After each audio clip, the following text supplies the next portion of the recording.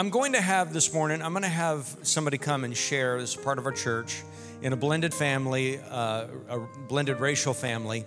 And uh, she was able to share at the Puyallup School Board um, and to address the critical race theory horse garbage um, that needs to be addressed. And so I wanted her to come and be able to share what she shared with the school board. So will you come, Brenda?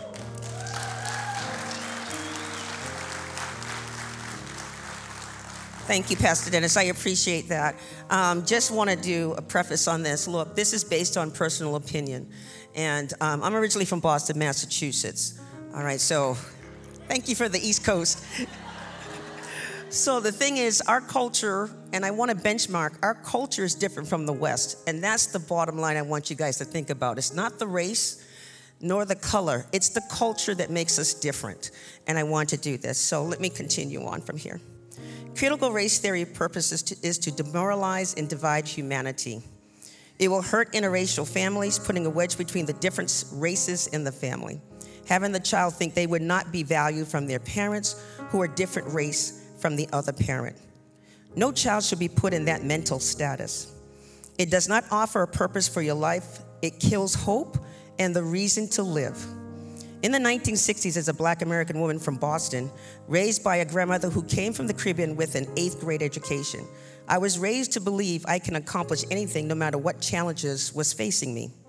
Surprisingly, my challenges were not from white teachers or white people within my community, but from my black American peers, taunting me because of not making good grades and my physical appearance. A Boston local newspaper, when I was attending college in the 70s, reported how black students were making A's and B's, grades dropped to C's and D's. Wondered why. Surprised to read, our peers were bullying them, beating them up, and calling them Uncle Tom. Sadly, what I have learned, the black community, we were supposed to stick together because the white people did not want us to succeed, was a farce for me.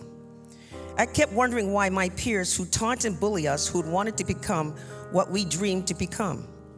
My aunt took me by surprise when she asked me what I was planning to study in college. I had a passion for animals and wanted to pursue becoming a vet technician. My aunt responded back to me asking why I wanted to do a white man's job.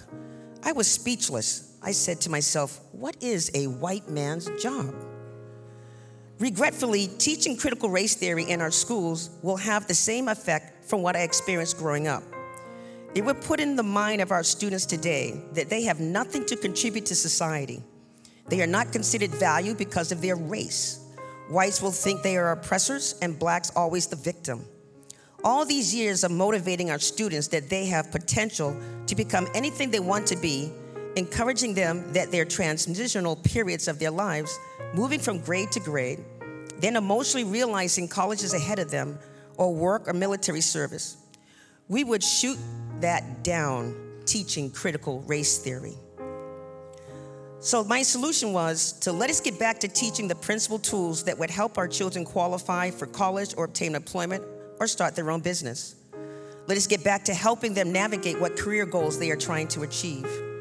Start introducing students to various cultures who had a positive impact in building our country. So, for an example, Ben Carson, cardiologist, Jessye Norman, black opera singer, the women who was chosen to work for NASA, Latinos, African Americans, Native Americans, and many more.